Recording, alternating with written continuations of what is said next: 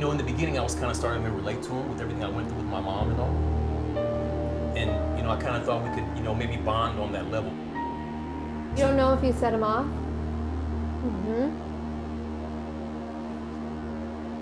Made me feel so uncomfortable. I felt You like I had to leave. You were leave. in the midst of a fucking psychopath. You told me to hug him. As a matter of fact, this is exactly what I said. I got up and I told him, let me re articulate for you. Get the fuck up and get the fuck out of here. I'm gonna bury this hatchet in your goddamn head. If I hadn't have done what I had did, I might be dead right now and you might be dead right now.